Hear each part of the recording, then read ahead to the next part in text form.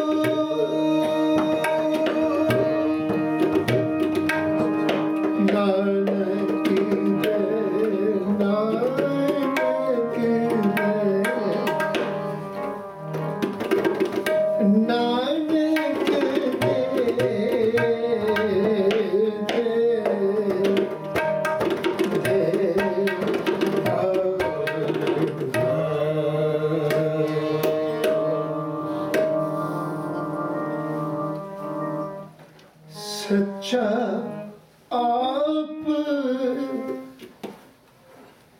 ਸੱਚਾ ਆਪ ਸੱਚਾ ਦਰਬਾਰ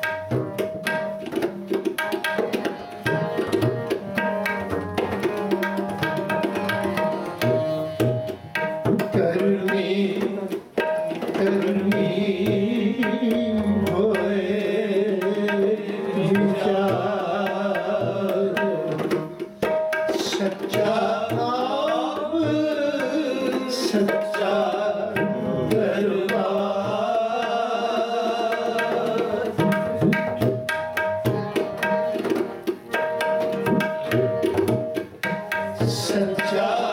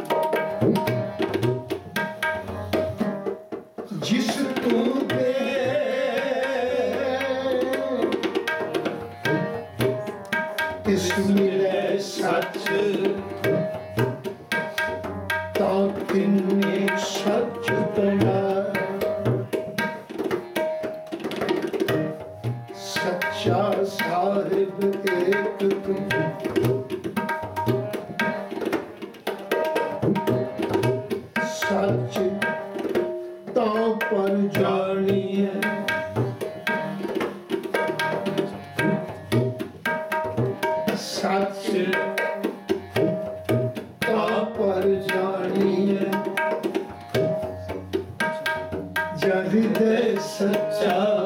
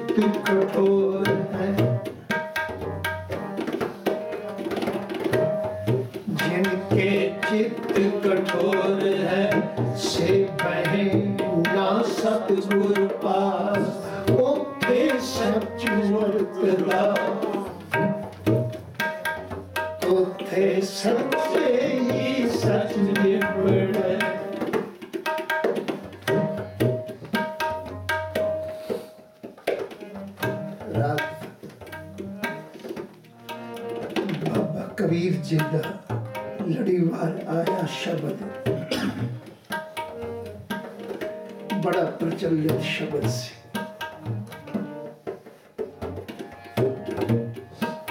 ਸ਼ਬਦ ਸੀ, ਅਵਲ ਅੱਲਾ ਨੂਰ ਆਇਆ ਕੁਦਰਤ ਕੇ ਸਭ ਬੰਦੇ।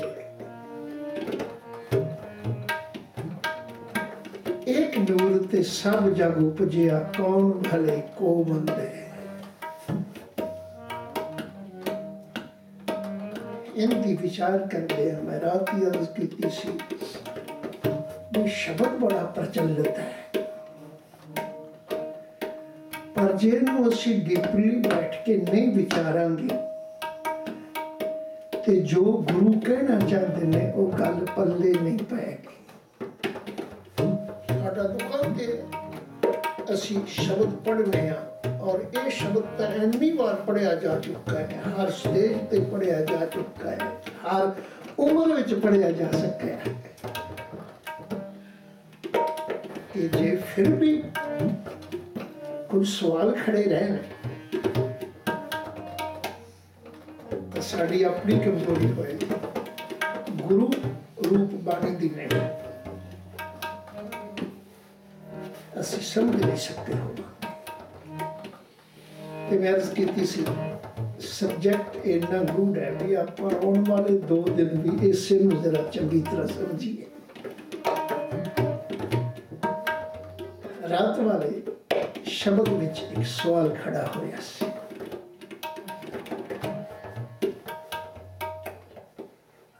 ਅਕਾਲ ਪੁਰਖ ਨੇ ਅੱਲਾਹ ਨੇ ਆਪਣੇ ਨੂਰ ਤੋਂ ਆਪਣੀ ਚਾਨਣ ਰੋਸ਼ਨੀ ਜੋ ਸਭ ਤੋਂ ਪਹਿਲਾਂ ਉਸਨੇ ਜੋਤ ਰੂਪ ਵਿੱਚ ਪੈਦਾ ਕੀਤੀ। ਉਹਦੇ ਵਿੱਚੋਂ ਸੰਸਾਰ ਦੀ ਉਤਪਤੀ ਹੋਈ ਉਹਨੇ ਪਹਿਲਾਂ ਸਭ ਤੋਂ ਰੋਸ਼ਨੀ ਨੂਰ ਪੈਦਾ ਕੀਤਾ ਤੇ ਉਸ ਨੂਰ ਵਿੱਚ ਸੰਸਾਰ ਪੈਦਾ ਕੀਤਾ। ਪਰ ਜਦੋਂ ਨੂਰ ਵਿੱਚੋਂ ਸੰਸਾਰ ਪੈਦਾ ਕਰਨ ਦਾ ਮਸਲਾ ਆਇਆ ਨਾ ਕਿਉਂਕਿ ਨੂਰ ਤੇ ਇੱਕ ਸੀ ਜੋਤ ਇੱਕ ਸੀ। ਪਰ ਸੰਸਾਰ ਇੱਕ ਨਹੀਂ, ਜੀਵ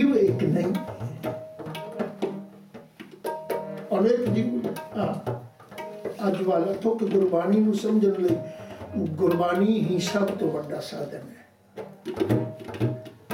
ਮੈਂ ਜਿਹੜਾ ਸ਼ਬਦ ਅੱਜ ਉਸ ਨੂੰ ਸਮਝਣ ਲਈ ਤੁਹਾਡੇ ਨਾਲ ਸਾਂਝਾ ਕਰ ਰਿਹਾ ਉਹਦੇ ਚ ਲਫ਼ਜ਼ ਨੇ ਇਸ ਵਿੱਚ ਜੀ ਜੁਗਤ ਕਹਿ ਰੰਗ। ਤੇ ਅਗਲੀ ਲਾਈਨ ਕੀ ਹੈ? ਤਿਨ ਕੇ ਨਾਮ ਅਨੇਕ ਅਨੰਤ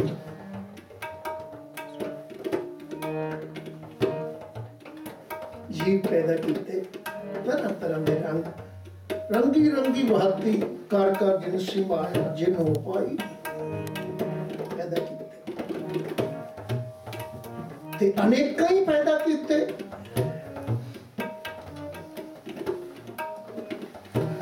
ਤਾਂ ਫਿਰ ਇੱਥੇ ਮਸਲਾ ਇੱਕ ਭਰਮ ਦਾ ਨਾ ਪੈਦਾ ਹੋ ਜਾਏ ਵੀ ਜੇ ਇੰਨੇ ਅਨੇਕਾਂ ਜੀਵ ਨੇ ਕਈ ਹੋ ਸਕਦੇ ਨੇ। ਇਹ ਉਹ ਕਾਰਨ ਹੈ। ਮਨੁੱਖ ਨੇ ਆਪਣੀ ਪਦਾਇਸ਼ ਦਾ ਆਪਣੇ ਉਪਜਾਊ ਦਾ ਆਪਣੇ ਸਿਰਜਣਹਾਰ ਦਾ ਸੰਬੰਧ ਇੱਕ ਨਾਲ ਨਾ ਜੋੜਿਆ। ਕਈਆਂ ਨਾਲ ਜੋੜ ਦਿੱਤਾ ਵਾ। ਕੋਈ ਕਿਸੇ ਨੂੰ ਮੰਨ ਰਿਹਾ ਹੈ ਕੋਈ ਕਿਸੇ ਨੂੰ ਮੰਨ ਰਿਹਾ ਹੈ। ਪਰ ਕਬੀਰ ਮੇਰਾ ਤਰਸ ਕੀਤੀ ਸੀ। ਉਪਦਾਨ ਦੇ ਨੂਰ ਤੋਂ ਪੈਦਾ ਸੰਸਾਰ ਦੇ ਕਰਨ ਦੇ ਨਾਲ ਇੱਕ ਲਫ਼ਜ਼ ਹੋਰ ਜੋੜ ਦਿੱਤਾ, ਉਹ ਸੀ ਇੱਕ। ਪਹਿਲੀ ਲਾਈਨ ਸੀ ਅਬਲ ਅੱਲਾ ਨੂਰ ਉਪਾਇਆ ਕੁਦਰਤ ਕੇ ਸਭ ਬੰਦੇ। ਸਾਰੇ ਉਹਦੇ ਪੈਦਾ ਕੀਤੇ। ਅੱਗੇ ਲਫ਼ਜ਼ ਇੱਕ ਜੋੜ ਦਿੱਤਾ ਵੀ ਕਿਤੇ ਭੁਲੇਖਾ ਨਾ ਪੈ ਜਾਏ। ਕਹਿਣ ਲੱਗੇ ਇੱਕ ਨੂਰ ਤੇ ਸਭ ਜਗ ਉਪਜਿਆ। ਤੇ ਉਸ ਇੱਕ ਨੂਰ ਦੇ ਲਫ਼ਜ਼ ਨੂੰ ਅਗਲੀਆਂ ਲਾਈਨਾਂ ਵਿੱਚ ਜੋੜਦੇ ਗਏ। ਮਾਟੀ ਏਕ, ਅਨੇਕ ਭਾਂਤ ਕਰ ਸਾਜੀ ਸਾਜਨ ਹਾਰੇ। ਪਰ ਉੱਥੇ ਫਿਰ ਨਵਾਂ ਸਵਾਲ ਖੜਾ ਹੋ ਗਿਆ। ਉਹ ਇਹ ਕਿ ਜਿਸ ਅਕਾਲ ਪੁਰਖ ਨੇ ਸ੍ਰਿਸ਼ਟੀ ਸਾਜੀ, ਜਿਸ ਇੱਕ ਨੂਰ ਤੋਂ ਸ੍ਰਿਸ਼ਟੀ ਬਣੀ ਕਿ ਉਸ ਇੱਕ ਨੂਰ ਵਿੱਚ ਕੋਈ ਕਮੀ ਵੀ ਹੈ, ਉਹ ਚੰਗਾ ਤੇ ਮੰਦਾ ਦੋਨੋਂ ਕੰਮ ਕਰਦਾ ਹੈ। ਅਸੀਂ ਅੱਜ ਜਿਹਨੂੰ ਜਾਪ ਸਭ ਕਹਿੰਦੇ ਨੇ, ਉਹਦੇ ਵਿੱਚ ਵੀ ਕਿਉਂ ਲਫ਼ਜ਼ ਕਹਿੰਦੇ ਆ ਵੀ ਭਲੇ ਉਹ ਤੁਸੀਂ ਇਹ ਲਫ਼ਜ਼ ਰੱਬ ਨਾਲ ਕਿਵੇਂ ਜੋੜਦੇ ਹੋ? ਕਿ ਉਹ ਜਿੰਦਾ ਅਸੀਂ ਜਾਪ ਕਰ ਰਹੇ ਹਾਂ। ਉਹ ਗੁਨਾਹ ਵੀ ਕਰਦਾ ਹੈ। ਨਮੋ ਨਿਤ ਨਾਰਾਇਣ ਕਰੂਰ ਕਰ। ਉਹ ਮੰਦਾ ਨਹੀਂ ਕਰ ਸਕਦਾ। ਇੱਥੇ ਵੀ ਇੱਕ ਸਵਾਲ ਖੜਾ ਹੋਇਆ ਸੀ ਰਾਤ। ਕਿ ਜੇ ਉਸ ਇੱਕੋ ਹੀ ਨੇ ਬਣਾਇਆ ਹੈ ਸੰਸਾਰ, ਦੂਜਾ ਕੋਈ ਨਹੀਂ, ਜੇ ਤਾਂ ਦੂਜਾ ਹੋਵੇ ਤੇ ਆਖਦੇ ਵੀ ਚਲੋ ਇੱਕ ਨੇ ਚੰਗਾ ਬਣਾਇਆ, ਦੂਜੇ ਨੇ ਮਾੜਾ ਬਣਾਤਾ ਹੋਣਾ। ਜੇ ਬਣਾਉਣ ਵਾਲਾ ਕਿਰਤ ਕਰਨ ਵਾਲਾ, ਸਿਰਜਣ ਵਾਲਾ ਇੱਕੋ ਹੈ। ਤੇ ਉਹਦੀ ਸਿਰਜਣਾ ਵੀ ਉਹ ਜੀ ਹੋਣੀ ਚਾਹੀਦੀ ਹੈ। ਇਸੇ ਲਈ ਅਗਲੇ ਪਾਸੇ ਕਹਿ ਦਿੱਤਾ ਇੱਕ ਨੂਰ ਤੇ ਸਭ ਜਗ ਉਪਜਿਆ, ਕੌਣ ਭਰੇ, ਕੋ ਮੰਦੇ? ਸਵਾਲ ਖੜਾ ਭਲਾ ਆਖੋਗੇ, ਕਿਹਨੂੰ ਮੰਦਾ ਆਖੋਗੇ? ਜੇ ਮੰਦਾ ਆਖੋਗੇ ਤਾਂ ਇਹਦਾ ਮਤਲਬ ਤਰਤਾ ਮੰਦੇ ਬਣਾਉਂਦਾ ਪੈਦਾ ਤੋਂ ਨਹੀਂ ਕੀਤੇ। ਪਹਿਲੀਆਂ ਲਫ਼ਜ਼ਾਂ ਵਿੱਚ ਦਵਾਏ ਨੇ, ਅਬਲ ਅੱਲਾ ਨੂਰ ਪਾਇਆ ਇੱਕ ਨੂਰ ਤੇ ਸਭ ਜਗ ਉਪਜਿਆ। ਜੇ ਉਹਦਾ ਹੀ ਸਭ ਕੁਝ ਬਣਾਇਆ ਹੋਇਆ ਤੇ ਫਿਰ ਉਹਨੂੰ ਅਸੀਂ ਦੋ ਹਿੱਸਿਆਂ ਵਿੱਚ ਕਿਵੇਂ ਵੰਡੀਏ? ਵੀ ਆ ਉਹਨੇ ਮਾੜੇ ਬਣਾਏ ਨੇ ਆ ਚੰਗੇ ਬਣਾਏ ਨੇ। ਵੱਖ ਵੱਖ ਨਹੀਂ ਹੋ ਸਕਦਾ। ਇਸ ਲਈ ਬਾਬਾ ਕਬੀਰ ਜੀ ਨੇ ਸਵਾਲ ਖੜਾ ਕਰ ਦਿੱਤਾ ਸੀ। ਇੱਕ ਨੂਰ ਤੇ ਸਭ ਜਗ ਉਪਜਿਆ ਕੌਣ ਭਲੇ? ਕੋ ਮੰਦੇ ਇਹਦਾ ਮਤਲਬ ਕੋਈ ਮੰਦਾ ਵੀ ਬਣਾਇਆ ਤੇ ਇੱਕ ਖਿਆਲ ਕਰਿਓ, ਮੰਦਾ ਹੀ ਮੰਦੇ ਕੰਮ ਕਰ ਸਕਦਾ ਹੈ। ਚੰਗਾ ਕਦੀ ਮੰਦੇ ਕੰਮ ਨਹੀਂ ਕਰੇਗਾ ਜੇ ਉਹ ਚੰਗਾ ਹੈ, ਤਾਂ ਉਹ ਮੰਦੇ ਕੰਮ ਨਹੀਂ ਕਰ ਸਕਦਾ, ਮੰਦੇ ਨੂੰ ਬਣਾ ਹੀ ਨਹੀਂ ਸਕਦਾ। ਤੇ ਜੇ ਉਹ ਮੰਦਾ ਹੈ ਉਹ ਚੰਗੇ ਨਹੀਂ ਬਣਾ ਸਕਦਾ। ਇਸੇ ਲਈ ਅਗਲੀ ਲਾਈਨ ਅੰਦਰ ਜਾ ਕੇ ਇੱਕ ਗੱਲ ਹੋਰ ਸਪਸ਼ਟ ਕਰ ਦਿੱਤੀ ਉਹਨੇ ਮਾਟੀ ਏਕ, ਅਨੇਕ ਭਾਂਤ ਕਰ ਸਾਜੀ ਸਾਜਨ ਹਾਰੇ, ਇੱਕੋ ਹੀ ਮਿੱਟੀ ਹੈ। ਉਹਨੂੰ ਅਨੇਕਾਂ ਤਰ੍ਹਾਂ ਦੇ ਰੂਪ ਦੇ ਕੇ ਸਿਰਜਣਹਾਰ ਨੇ ਬਣਾਇਆ ਹੈ। ਅਗਲੇ ਪਾਸੇ ਲਫ਼ਜ਼ ਕਹੇ, ਨਾ ਕਿਛ ਕੋਚ ਮਾਟੀ ਕੇ ਭਾਂਡੇ ਨਾ ਕਿਛ ਪੋਚ ਕੁੰਭਾ ਨਾ ਕੋਈ ਕਮੀ ਭਾਂਡੇ ਵਿੱਚ ਹੈ, ਨਾ ਭਾਂਡੇ ਬਣਾਉਣ ਵਾਲੇ ਕੁਮਾਰ ਵਿੱਚ ਹੈ। ਇਹਦਾ ਮਤਲਬ ਦੋਨੋਂ ਇੱਕੋ ਹੀ। ਕਰ ਦਿੱਤਾ ਨਾ ਕਿਛ ਪੋਚ ਮਾਟੀ ਵਿੱਚ ਵੀ ਕੋਈ ਕਮੀ ਨਹੀਂ, ਕਿਉਂਕਿ ਬਣਾਉਣ ਵਾਲਾ ਪੂਰਾ ਉਹ ਨਿਰਮਲ ਉਹ ਪਵਿੱਤਰ ਉਹ ਚੰਗਾ ਨਾ ਕਿਛ ਪੋਚ ਮਾਟੀ ਕੇ ਭਾਂਡੇ। ਤੇ ਨਾ ਕੁਛ ਪੋਚ ਕੁੰਭਾਰੇ, ਕਿਉਂਕਿ ਜੇ ਮਾਟੀ ਦਾ ਭਾਂਡਾ ਵੀ ਉਲਟਾ ਹੁੰਦਾ ਤੇ ਲੋਕ ਉਲੰਭਾ ਤੇ ਕੁੰਭਾਰ ਨੂੰ ਵੀ ਦਿੰਦੇ ਨੇ। ਵੀ ਕੁੰਭਾਰ ਸਿਆਣਾ ਨਹੀਂ। ਕੋਈ ਚੀਜ਼ ਕਿਸੇ ਦੀ ਬਣਾਈ ਹੋਈ ਗਲਤ ਸਾਬਤ ਹੋਵੇ, ਤਾਂ ਅਸੀਂ ਆਖਾਂਗੇ ਉਹ ਸਿਆਣਾ ਨਹੀਂ। ਇਹਦਾ ਮਤਲਬ ਕੋਈ ਕਮੀ ਕੁੰਭਾਰ ਵਿੱਚ ਹੈ ਭਾਂਡਾ ਠੀਕ ਨਹੀਂ ਬਣਾਇਆ। ਇਸ ਲਈ ਬਾਬਾ ਕਬੀਰ ਕਦੇ ਕਹਿ ਨਹੀਂ ਸਕਦੇ ਵੀ ਮੇਰੇ ਮਾਲਕ ਕੁਮਾਰ ਵਿੱਚ, ਸਿਰਜਣਹਾਰ ਵਿੱਚ ਕੋਈ ਕਮੀ ਹੈ, ਕੋਈ ਨਹੀਂ ਕਹਿ ਸਕਦਾ। ਕਹਿਣ ਵਾਲਿਆਂ ਨੂੰ ਅੱਜ ਅਸੀਂ ਦੂਰ ਕੀਤੀ ਬੈਠੇ ਸਾਡਾ ਦੁੱਖਾਂ ਤੇ ਅਸੀਂ ਪਛਾਣਿਆ ਵੀ ਕਿੰਨਾ ਨੇ ਕਰਤੇ ਨੂੰ ਕਮਜ਼ੋਰ ਆਖਿਆ। ਮਾੜਾ ਆਖਿਆ। ਪਰ ਬਾਬਾ ਕਬੀਰ ਨੇ ਤਾਂ ਬੜੇ ਸਪਸ਼ਟ ਲਫ਼ਜ਼ ਕਹੇ ਨੇ। ਇੱਕ ਨੂਰ ਤੇ ਸਰਗ ਸਭ ਜਗ ਉਪਜਿਆ। ਕੌਣ ਭਲੇ, ਕੋ ਬੰਦੇ ਕਿਹੜੇ ਭਲੇ ਨੇ, ਕਿਹੜੇ ਮਾੜੇ ਨੇ, ਮੈਂ ਨਹੀਂ ਕਹਿ ਸਕਦਾ। ਕਿਉਂ? ਕਿਉਂਕਿ ਨਾ ਕਿਛ ਪੋਚ ਮਾਟੀ ਕੇ ਭਾਂਡੇ, ਨਾ ਕਿਛ ਪੋਚ ਕੁੰਭਾਰੇ। ਸਭ ਮੈਂ ਸਾਚਾ ਇੱਕੋ ਸੋਈ। ਸਾਰਿਆਂ ਵਿੱਚ ਉਸੇ ਦੀ ਕੁਦਰਤ ਸ਼ਕਤੀ ਕਿ ਉਸੇ ਦੀ ਸਿਆਣਪ ਬੈਠੀ ਮਸਲਾ ਸੀ ਪਰ ਹੁਣ ਅਸੀਂ ਹੋਰ ਡਿਪਲੀ ਜਾਣਾ ਹੈ। ਰਾਤ ਵੀ ਇਹ ਸਵਾਲ ਆਇਆ ਸੀ। ਜੇ ਸਾਰਿਆਂ ਨੂੰ ਕਰਤੇ ਨੇ ਬਣਾਇਆ ਹੈ, ਇਹ ਸਾਰੀ ਸ੍ਰਿਸ਼ਟੀ ਦਾ ਸਿਰਜਣਹਾਰ ਹੋਇਆ ਹੈ। ਉਹ ਮੰਦਾ ਨਹੀਂ ਬਹੁਤ ਚੰਗਾ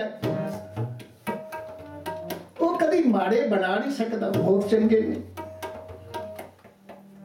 ਤਾਂ ਫਿਰ ਸਵਾਲ ਖੜਾ ਹੋਵੇਗਾ, ਦੁਨੀਆ ਅੰਦਰ ਕੋਈ ਮਾੜੇ ਨਹੀਂ ਹੋਏ। ਜਾਂ ਉਹਨਾਂ ਨੂੰ ਬਣਾਉਣ ਵਾਲਾ ਕੋਈ ਹੋਰ ਹੈ? ਸਵਾਲ ਇਹ ਹੈ। ਮਸਲਾ ਇੱਥੋਂ ਇੱਕ ਸਵਾਲ ਖੜਾ ਹੋ ਗਿਆ। ਕਿ ਦੁਨੀਆ ਅੰਦਰ ਮੰਦੇ ਕੋਈ ਨਹੀਂ? ਦੁਨੀਆ ਸਿਰਫ ਚੰਗਿਆਂ ਦੀ ਹੈ? ਦੁਨੀਆ ਸਿਰਫ ਭਲਿਆਂ ਦੀ ਹੈ? ਮੰਦੇ ਕੋਈ ਨਹੀਂ? ਸਵਾਲ ਖੜਾ ਹੈ, ਮੈਂ ਰਾਤ ਹੀ ਅਰਜ਼ ਕੀਤੀ ਸੀ, ਮੈਂ ਕਿਹਾ ਮੈਨੂੰ ਤੁਸੀਂ ਦੱਸੋਗੇ ਹਿਟਲਰ ਨੂੰ ਕਿਸੇ ਹੋਰ ਨੇ ਪੈਦਾ ਕੀਤਾ? ਜਾਂ ਉਹ ਬਹੁਤ ਚੰਗਾ ਸੀ। ਕੋਈ ਫੈਸਲਾ ਤੇ ਕਰਨਾ ਪਏਗਾ। ਦਰਸ ਕੀਤੀ ਸੀ ਔਰੰਗਜ਼ੇਬ ਨੂੰ ਕਿਸੇ ਹੋਰ ਨੇ ਪੈਦਾ ਕੀਤਾ ਜਾਂ ਬਹੁਤ ਚੰਗਾ ਸੀ ਇੱਕ ਤਾਂ ਫੈਸਲਾ ਕਰਨਾ ਹੀ ਪਏਗਾ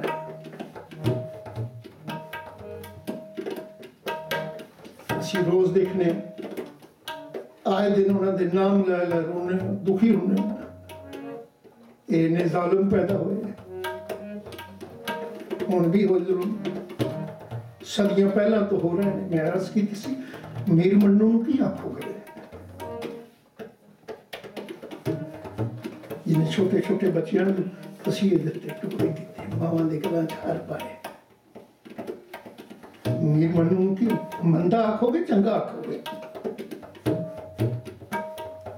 ਭਲਾ ਆਖੋਗੇ ਕਿ ਮੰਦਾ ਆਖੋਗੇ ਜਾਂ ਕੀ ਆਖੋਗੇ ਰੱਬ ਦੋ ਨੇ ਇੱਕ ਕਰੂਰ ਕਰਨੇ ਹੈ ਅਸੀਂ ਤਾਂ ਦੁਖਾਂ ਦੇ ਅਸੀਂ ਕਿਉਂ ਕਹਿੰਦੇ ਆ ਬਾਣੀ ਨੂੰ ਵਿਚਾਰੋ? ਕਿ ਸਾਡੇ ਕੋਲ ਕੀ ਪੜਾਇਆ ਜਾ ਰਿਹਾ ਹੈ? ਨਮੋਨੇ ਤੇ ਨਾਰਾਇਣ ਨੇ ਕਰੂਰ ਕਰ ਕੀ? ਉਹ ਕਰੂਰ ਕਰ ਮੈਂ ਵੱਖਰਾ ਹੈ। ਕਿ ਉਹ ਨਿਰਮਲ ਨਿਰਮਲ ਸੋਚਾ ਸੋਚੋ ਸੋਚਾ ਉਸ ਦਿਨ ਵੀ ਤਾਂ ਪਾਈ ਸੀ। ਆਪ ਭਲਾ, ਗੁਰਬਾਣੀ ਤਾਂ ਇਹ ਕਹਿ ਰਹੀ। ਆਪ ਭਲਾ ਉਹ ਭਲਾ ਹੈ, ਸਿਰਫ ਭਲਾ ਹੀ ਪੈਦਾ ਕਰਦਾ ਹੈ। ਆਪ ਭਲਾ ਕਰਤੂਤ ਐਤਨੀਕੀ ਉਹਦੇ ਕੰਮ ਵੀ ਬਹੁਤ ਚੰਗੇ ਨੇ। ਇਹ ਤਾਂ ਬੜੀ ਦਾ ਕਿ ਅਸੀਂ ਇਸ ਤੇ ਯਕੀਨ ਕਰਨੇ ਆ ਜਾਂ ਨਹੀਂ ਕਰਦੇ? ਇਹ ਗੱਲ ਸਾਡੀ। ਆਪ ਭਲਾ ਕਰਤੂਤ ਅਤਨੀਕੀ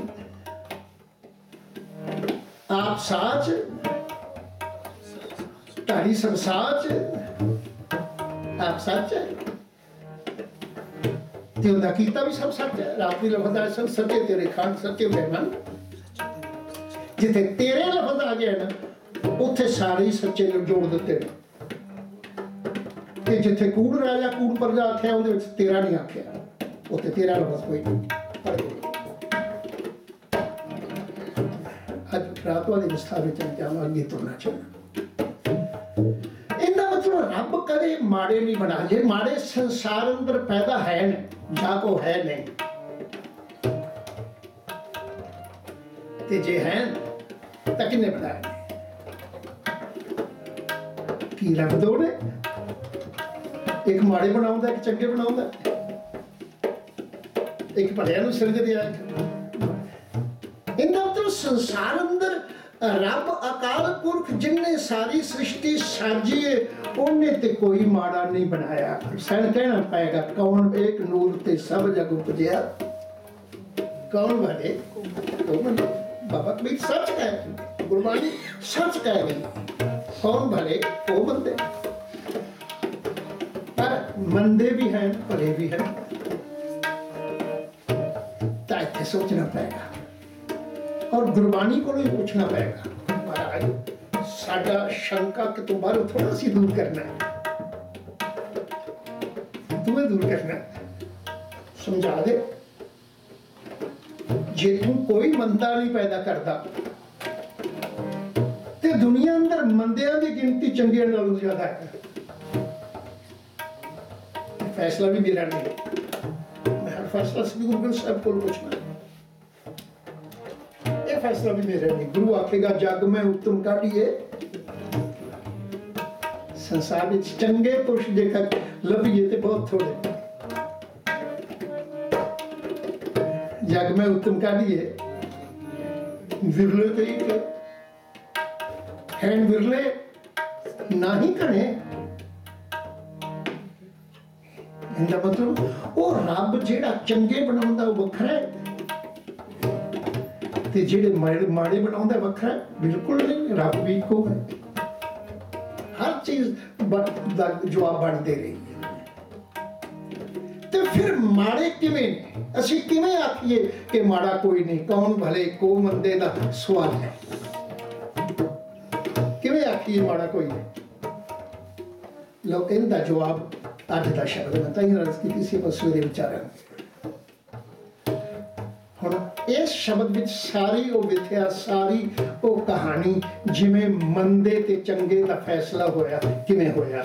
ਅਸੀਂ ਕਿਹਨੂੰ ਮੰਦਾ ਆਖਣਾ ਕਿਹਨੂੰ ਚੰਗਾ ਆਖਣਾ ਜਿਹਨੂੰ ਮੰਦਾ ਅਸੀਂ ਆਖਣਾ ਹੈ, ਅਸੀਂ ਆਪਣੀ ਮਰਜ਼ੀ ਨਹੀਂ ਵਰਤ, ਸਾਡੇ ਕੋਲ ਕੀ ਹੱਕ ਹੈ ਕਿ ਅਸੀਂ ਕਿਸੇ ਨੂੰ ਮੰਦਾ ਜਾਂ ਚੰਗਾ ਆਖ ਸਕੀਏ? ਗੁਰੂ ਫੈਸਲਾ ਸਮਝਾਉਂਦਾ ਹੈ ਹੁਣ ਅੱਜ ਵਾਲੇ ਸ਼ਬਦ ਨੂੰ ਸ਼ੁਰੂ ਕਰੀਏ।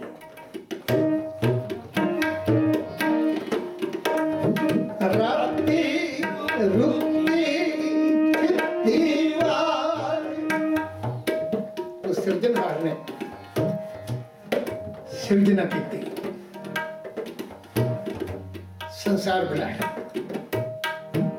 ਅਵਲ ਅੱਲਾ ਨੂਰ ਉਪਾਇਆ ਸੰਸਾਰ ਤੇ ਸੰਸਾਰ ਦੀ ਰਹਾਇਸ਼ਗਾਹ ਸੰਸਾਰ ਦੇ ਇਸ ਨਿਜ਼ਾਮ ਨੂੰ ਕਿਵੇਂ ਕੰਟਰੋਲ ਕਰਨਾ ਹੈ ਕਿੱਥੇ ਰੱਖਣਾ ਹੈ ਕੀ ਰੂਪ ਦੇਣਾ ਹੈ ਬਣਾਉਣ ਵਾਲੇ ਸਿਰਜਣਹਾਰਾਂ ਨੂੰ ਫਿਕਰ ਸੀ ਦਿਨ ਤੇ ਰਾਤ ਬਣਾਈਆਂ। ਬੜੀਆ ਜੇ ਦਿਨ ਕਰਕੇ ਕੀਤੀ ਰਾਤ। ਰੁੱਤਾਂ ਬਣਾਈਆਂ। ਥਿੱਤਾਂ ਬਣਾਈਆਂ ਦਿਨ ਪਾ ਵਾਰ ਬਣਾਏ। ਪਵਨ ਬਾਣੇ ਬਣਾਏ। ਸਾਰੇ ਜੀਵਨ ਜੋ ਕੁਝ ਮੈਂ ਬਣਾ ਰਿਹਾ, ਉਹਨੇ ਜੀਵਨ, ਜੀਵਾਂ ਨੇ ਜਿਹਨੂੰ ਜੀਵਾਂ ਨੂੰ ਜਨਮ ਦੇ ਰਿਹਾ ਉਹ ਬਣਾਉਣ ਜੀਵਨਗੇ ਕਿਵੇਂ? ਪਾਣੀ ਬਣਾਇਆ। ਜਿਹੜੀ ਜਿਹੜੀ ਚੀਜ਼ ਦੀ ਜੀਵਨ ਨੂੰ ਲੋੜ ਸੀ ਨਾ, ਇਸ ਲਈ ਗੁਰੂ ਨੇ ਬਾਣੀ ਅੰਦਰ ਹਰ ਗੱਲ ਦਾ ਜਵਾਬ ਬਾਣੀ ਵਿੱਚ ਹੈ। ਕਹਿੰਦੇ ਨੇ, ਪਹਿਲੋਂ ਦੇਤਾ ਰਿਜਕ ਉਪਾਹ, ਪਿੱਛੋਂ ਦੇਤਾ ਪਹਿਲੋਂ ਦੇਤਾ ਰਿਜਕ ਸੰਭਾਹ, ਪਿੱਛੋਂ ਦੇਤਾ ਜੰਤ ਉਪਾਹ। ਜੰਤ ਬਾਅਦ ਵਿੱਚ ਪੈਦਾ ਕੀਤੇ, ਜੀਵ ਬਾਅਦ ਵਿੱਚ ਪੈਦਾ ਕੀਤੇ, ਪਹਿਲਾਂ ਉਹਦਾ ਲੋੜਾਂ ਦਾ ਸਮਾਨ ਪੈਦਾ ਕੀਤਾ। ਬਾਣੀ ਦਾ ਫੈਸਲਾ। ਪਹਿਲੋਂ ਦੇਤਾ ਹੈ ਰਿਜਕ ਸੰਭਾਹ ਪਿੱਛੋਂ ਦੇਤੇ ਜੰਤੂ ਪਾ ਜਿਸ ਜਿਸ ਚੀਜ਼ ਦੀ ਜ਼ਰੂਰਤ ਸੀ ਜੀਵਨ, ਉਹ ਸਾਰੀਆਂ ਪੈਦਾ ਕੀਤੀਆਂ। ਉਹ ਕੀ ਸਨ? ਰਾਤੀ, ਰੁੱਤੀ ਥਿੱਤੀ ਵਾਰ। ਪਵਨ, ਪਾਣੀ, ਅਗਨੀ ਪਤਾ ਤੇ ਹੁਣੇ ਰਹਿਣਗੇ ਕਿੱਥੇ? ਧਰਤੀ ਬਣਾ ਦਿੱਤੀ। ਤੇ ਧਰਤੀ ਵਿੱਚ ਇੱਕ ਗੁਣ ਪੈਦਾ ਕਰ ਦਿੱਤਾ। ਉਹ ਸੀ ਧਰਮਸਾਲ, ਭਾਵ ਧਰਮ ਦਾ ਗੁਣ, ਸੱਚ ਦਾ ਗੁਣ, ਕਿ ਤੇਰੇ ਵਿੱਚ ਜੋ ਕੋਈ ਬੀਜ ਪਾਵੇ, ਤੂੰ ਉਹ ਹੀ ਜਨਮ ਦੇਗੀ ਮੈਂ ਇੱਕ ਵਾਰ ਕੀਤੀ ਸੀ। ਵੀ ਜਿੰਨੀ ਦੇਰ ਤੂੰ ਆਪਣੀ ਜੇਬ ਵਿੱਚ, ਆਪਣੀ ਮੁੱਠੀ ਵਿੱਚ ਬੀਜ ਰੱਖੇ, ਤੈਨੂੰ ਕੋਈ ਪੁੱਛੇ ਤੇਰੇ ਹੱਥ ਵਿੱਚ ਕੀ ਹੈ, ਮੁੱਠੀ ਵਿੱਚ ਕੀ ਹੈ ਥੁੱਕਾ ਨਿਕਲੂ ਛੋਲਿਆਂ ਦਾ ਬੀਜ ਕਹਿ ਸਕਣਾ ਪਰ ਜਿਸ ਦਿਨ ਤੂੰ ਧਰਤੀ ਦੇ ਹਵਾਲੇ ਕਰ ਦਿੱਤਾ, ਫਿਰ ਝੂਠ ਨਾ ਬੋਲੀ, ਕਿਉਂਕਿ ਤੇਰਾ ਝੂਠ ਦਾ ਪਰਦਾ ਧਰਤੀ ਨੇ 10 ਦਿਨ ਬਾਅਦ ਖੋਲ ਦੇਣਾ ਹੈ। ਜੇ ਤੂੰ ਉੱਥੇ ਕਣਕ ਦਾ ਬੀਜ ਬੀਜ ਕੇ ਆਖੇਗਾ ਨਾ ਮੈਂ ਛੋਲਿਆਂ ਦਾ ਬੀਜ ਬੀਜਿਆ, ਦਸਾਂ ਦਿਨਾਂ ਬਾਅਦ ਧਰਤੀ ਜਿਹੜਾ ਬੂਟਾ ਪੈਦਾ ਕਰੇਗੀ ਆ ਕੇ ਦੁਨੀਆ ਦੇ ਲੋਕ ਇਹਨੇ ਤਾਂ ਆ ਬੀਜ ਬੀਜਿਆ ਸੀ। ਉਹ ਝੂਠ ਨਹੀਂ ਬੋਲਦਾ ਧਰਮ ਹੈ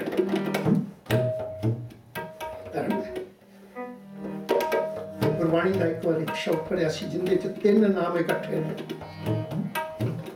ਤੇ ਧਰਮ ਨਾਲ ਨਾਲ ਸੰਬੰਧਿਤ ਗੁਰਬਾਣੀ ਵਿੱਚ ਸਭ ਕੁਝ ਗੁਰੂ ਕਹਿੰਦੇ ਨੇ ਸਤਗੁਰ ਧਰਤੀ ਧਰਮ ਹੈ ਇਸ ਵਿੱਚ ਜੇਹਾ ਕੋ ਬੀਜੈ ਤੇਹਾ ਫਲ ਨਿਜਤ ਫੈਸਲਾ ਸਤਿਗੁਰੂ ਧਰਤੀ ਤੇ ਧਰਮ। ਇਹ ਤਿੰਨ ਚੀਜ਼ਾਂ ਇੱਕੋ ਜਿਹੇ। ਧਰਮ ਵੀ ਝੂਠ ਨਹੀਂ ਬੋਲਦਾ, ਧਰਤੀ ਵੀ ਝੂਠ ਨਹੀਂ ਬੋਲਦੀ ਤੇ ਸਤਿਗੁਰੂ ਵੀ ਕਦੀ ਝੂਠ ਨਹੀਂ ਬੋਲਦਾ। ਸਤਿਗੁਰੂ ਵੀ ਕਦੀ ਝੂਠ ਸ੍ਰੀ ਗੁਰੂ ਗ੍ਰੰਥ ਸਾਹਿਬ ਦੀ ਗੱਲ ਨੂੰ ਜਿਹੜਾ ਸ਼ੰਕੇ ਨਾਲ ਦੇਖੇ ਨਾ ਵੀ ਖੋਰੇ, ਇੱਥੇ ਵੀ ਝੂਠ ਹੈ, ਉਹ ਆਪਣੀ ਗਲਤੀ ਦਾ ਅਹਿਸਾਸ ਅੱਜ ਨਿਕਾਲ ਕਰੇਗਾ। ਗੁਰੂ ਨੇ ਤਿੰਨ ਚੀਜ਼ਾਂ ਦਾ ਨਾਮ ਇਕੱਠਾ ਲੈ ਲਿਆ। ਕਹਿਣ ਲੱਗੇ ਸਤਿਗੁਰ ਧਰਤੀ ਧਰਮ ਹੈ। ਜਿਸ ਵਿੱਚ ਜਿਹਾ ਕੋ ਬੀਜੈ ਤਿਹਾ ਧਰਮ ਸਥਾਨ ਹੈ। ਇਹਦੇ ਵਿੱਚ ਇੱਕ ਗੁਣ ਰੱਖਿਆ ਹੈ, ਸੱਚ ਬੋਲੀ ਤੇ ਗੁਰੂ ਨਾਨਕ ਨੇ ਅੱਜ ਵਾਲੇ ਸ਼ਬਦ ਵਿੱਚ ਬੜਾ ਸਪਸ਼ਟ ਕਹਿ ਦਿੱਤਾ ਕਹਿਣ ਲੱਗੇ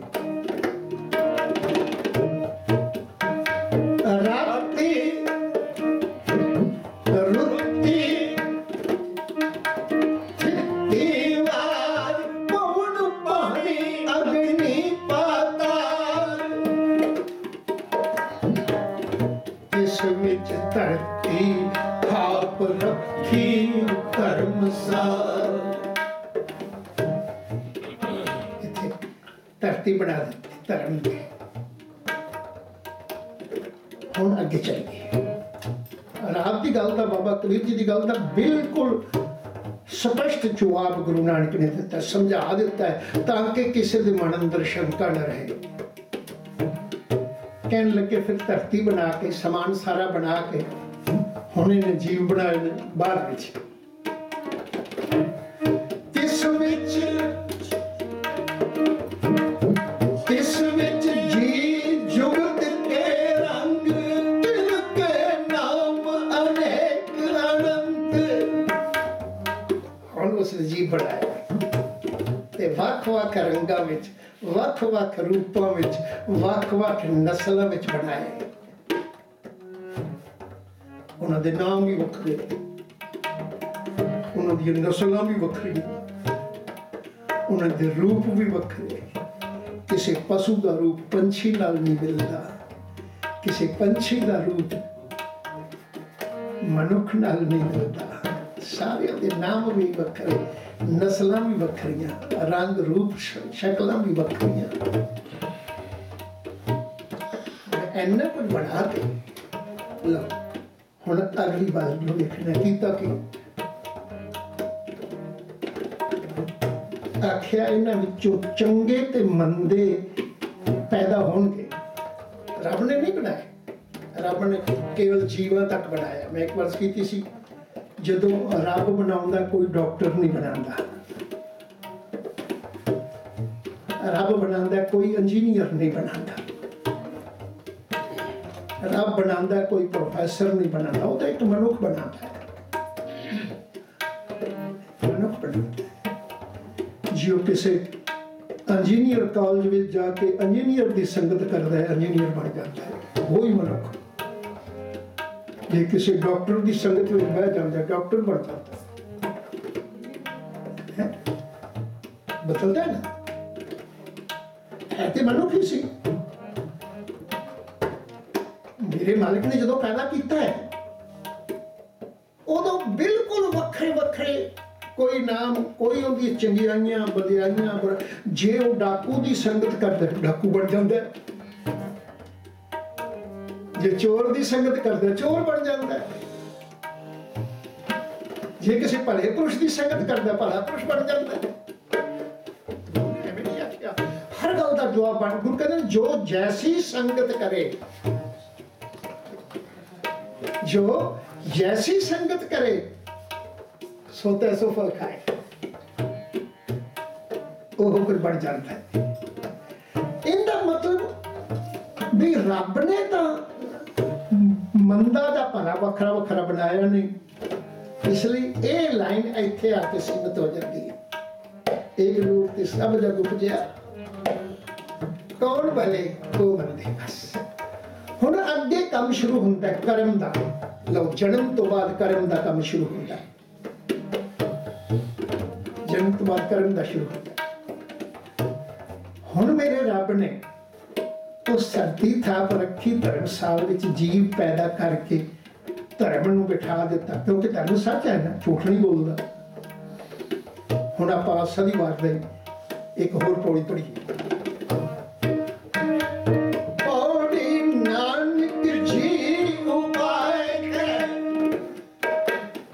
ਅਵਲਾ ਲਾ ਨੂਰ ਉਪਾਇਆ। ਇੱਥੇ ਵੀ ਹੈ, ਜੀ ਉਪਾਏ।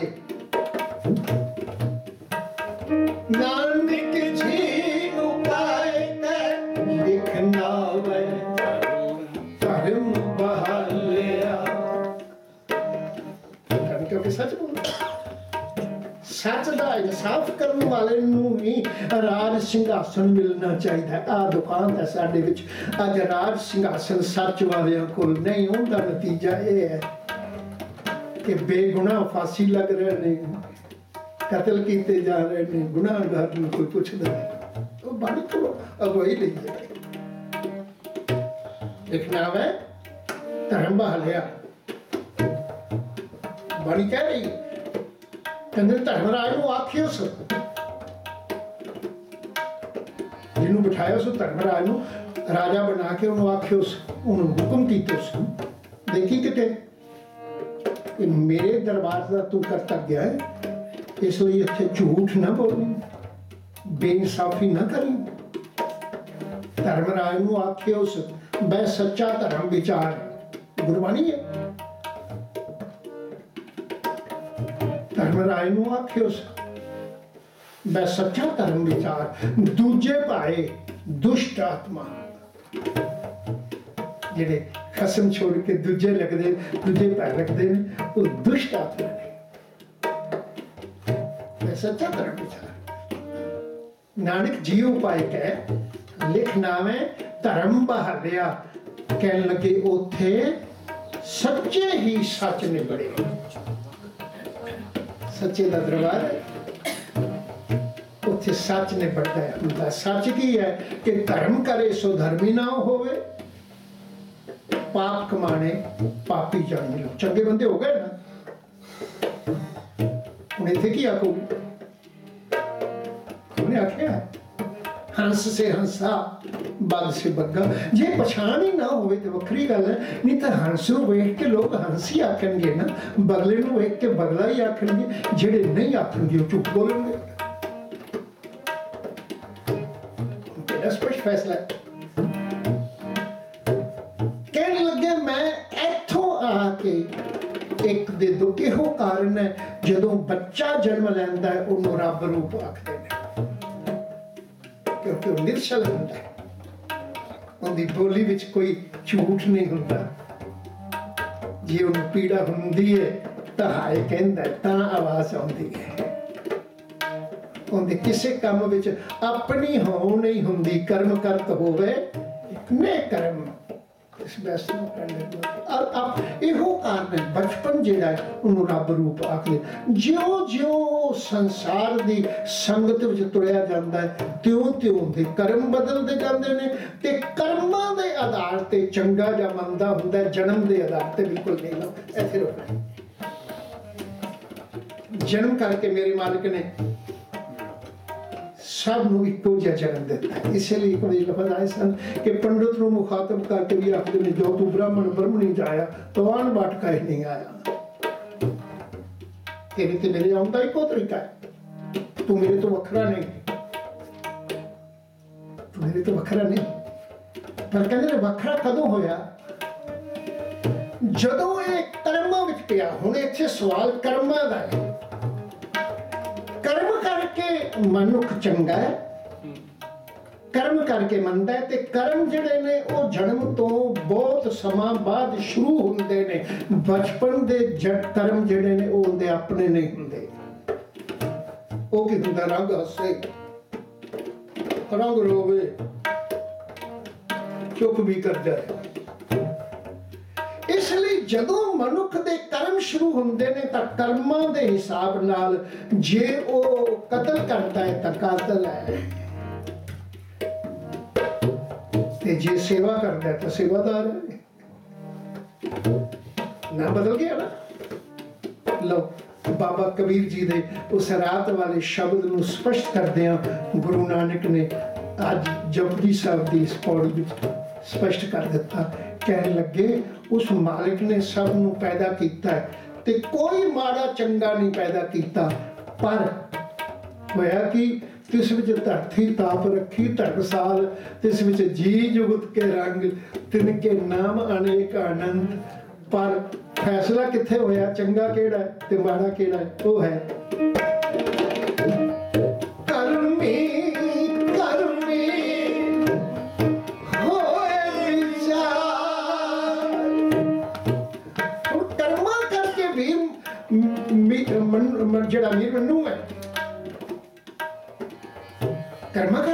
ਕਰਕੇ ਜ਼ਾਲਮ ਹੈ ਨਾ। ਕੱਲ ਇੱਥੇ ਰੇਡੀਓ ਸਟੇਸ਼ਨ ਤੇ ਟਾਕ ਬੋਲ ਰਿਹਾ ਸੀ। ਤੇ ਉੱਥੇ ਮੈਂ ਇੱਕ ਲਫ਼ਜ਼ ਕਹਿ ਸਨ ਜਿਹੜਾ ਆਪਾਂ ਕਈ ਵਾਰੀ ਕਹਿੰਦੇ ਆ ਸਾਡੇ ਖਿਆਲ ਅਸੀਂ ਕਹਿੰਦੇ ਜੀ ਹਿਸਟਰੀ ਆਪਣੇ ਆਪ ਨੂੰ ਦੁਹਰਾਉਂਦੀ ਹੈ। ਕਿਵੇਂ ਦੁਹਰਾਉਂਦੀ ਹੈ? 100 ਸਾਲ ਬਾਅਦ ਜੇ ਕੋਈ ਹਿਸਟਰੀ ਦੁਹਰਾਏ, ਤੇ ਉਹ ਉਹਦੇ ਵਿੱਚ ਤਿੰਨ ਜਨਰੇਸ਼ਨਾਂ ਬਦਲ ਗਈਆਂ। ਉਹ ਤੇ ਨਹੀਂ ਆਉਣੇ ਉਹਨਾਂ ਦੇ ਕਰਮ ਆਉਣੇ ਨੇ ਹਿਟਲਰ ਮਰ ਗਿਆ।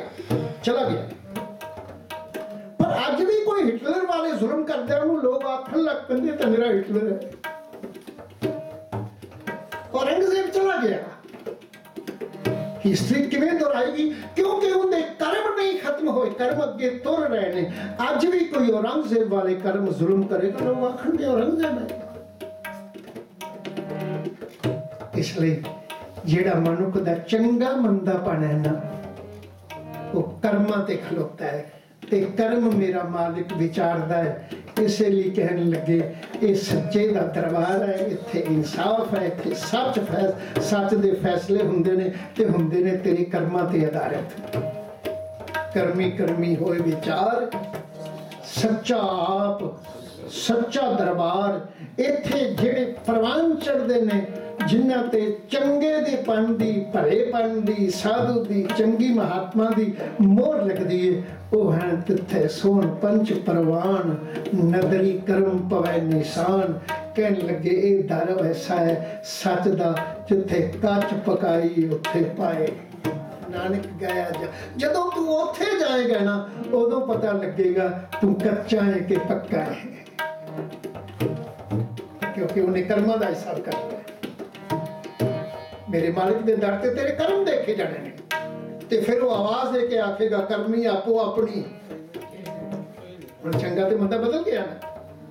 ਬਾਬਾ ਕਬੀਰ ਜੀ ਦੇ ਰਾਤ ਵਾਲੇ ਸ਼ਬਦ ਨੂੰ ਗੁਰੂ ਨਾਨਕ ਨੇ ਇਸ ਜਪਜੀ ਦੀ ਪੌੜੀ ਵਿੱਚ ਸਪਸ਼ਟ ਕਰ ਦਿੱਤਾ ਤੇ ਕਹਿਣ ਲੱਗੇ।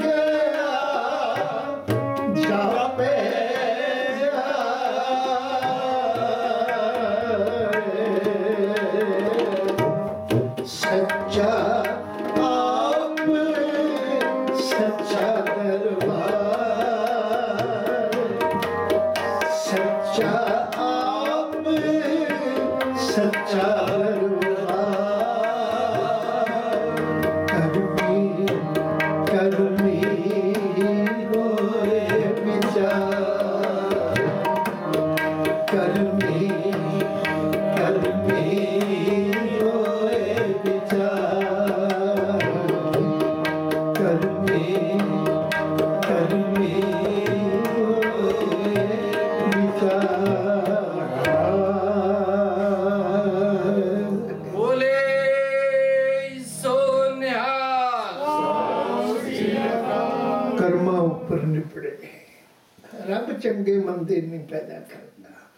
ਉਹ ਜਨਮ ਦਿੰਦਾ ਹੈ। ਇੱਕ ਵਾਰ ਕੀਤੀ ਸੀ, ਜਨਮ ਕਰਕੇ ਮਨੁੱਖ ਪਤੰਤਰ ਹੈ। ਆਪਣੀ ਮਰਜ਼ੀ ਨਹੀਂ ਤੇ ਕਰਮ ਕਰਕੇ ਸੁਤੰਤਰ ਹੈ। ਇਸੇ ਲਈ ਇਹਨੂੰ ਕਰਮਾਂ ਦਾ ਹਿਸਾਬ ਦੇਣਾ ਪੈਂਦਾ ਹੈ। ਕਰਮੀ ਆਪੋ ਆਪਣੀ ਦਾ ਮਸਲਾ ਹੈ। ਇਸੇ ਲਈ ਸਤਿਗੁਰੂ ਨੇ ਬਾਣੀ ਅੰਦਰ ਇੱਕ ਥਾਂ ਤੇ ਵੀ ਅਨੇਕਾਂ ਥਾਵਾਂ ਤੇ ਕਹਿ ਦਿੱਤਾ, ਜੇ ਵੇਹ ਕਰਮ, ਭਾਈ ਸਾਹਿਬ, ਭਾਈ ਗੁਰਦਾਸ ਜੀ ਨੇ ਵੀ ਆਖਿਆ, ਜੇ ਵੇਹ ਕਰਮ ਕਮਾਉਂਦੇ ਤੇ ਵੇਹ ਫਲ ਤੇ। ਗੁਰੂ ਨੇ ਵੀ ਆਖਿਆ, ਜਿਹਾ ਘਾਵੇ ਘਾਲਣਾ ਤੇ ਵੇਹੋ ਨਾਉ ਪਚਾਰੀਏ ਜਿਹੜੇ ਕਰਮ ਕਰੇਗਾ, ਤੇਰਾ ਉਹ ਜਿਹਾ ਨਾਮ ਪੈ ਜਾਏਗਾ। ਭਲਾ ਵੀ ਪੈ ਸਕਦਾ ਬੰਦਾ ਵੀ ਪੈ ਸਕਦਾ ਇਸ ਲਈ ਕਰਮਾਂ ਨੂੰ ਬੜਾ ਸੋਚ ਸਮਝ ਕੇ ਨਿਸ਼ਚਿਤ ਕਰ ਇਹਨਾਂ ਦਾ ਹਿਸਾਬ ਦੇਣਾ ਪੈਂਦਾ ਇਹਨਾਂ ਸ਼ਬਦਾਂ ਨਾਲ ਖਿਮਾ ਦਾ ਜਾਚੇ ਖਾਂ ਫਤਿਹ ਬੁਲਾਓ। ਵਾਹਿਗੁਰੂ ਜੀ ਕਾ ਖਾਲਸਾ। ਵਾਹਿਗੁਰੂ ਅਜੇ ਇਸ ਗੱਲ ਨੂੰ ਮੈਂ ਹੋਰ ਖੋਲਣਾ ਚਾਹੁੰਦਾ ਵੀ ਕਰਮ ਕੀ ਹੈ, ਹੁਣ ਮਸਲਾ ਹੀ ਆ ਜਾਏਗਾ ਸਭੂ ਬਖਸ਼ਿਸ਼ ਕਰੇ ਕੱਲ ਨੂੰ ਆਪਾਂ ਅਗਲੀ ਵਿਚਾਰ ਕਰਾਂਗੇ ਉਸ ਤੋਂ ਬਾਅਦ ਆਪ ਜੀ ਕੋਲੋਂ ਇਜਾਜ਼ਤ ਵੀ ਲਵਾਂਗਾ ਇਹਨਾਂ ਸ਼ਬਦਾਂ ਨਾਲ ਫਿਰ ਫਤਿਹ ਬੁਲਾਓ ਵਾਹਿਗੁਰੂ ਜੀ ਕਾ ਖਾਲਸਾ ਵਾਹਿਗੁਰੂ ਜੀ ਕੀ ਫਤਿਹ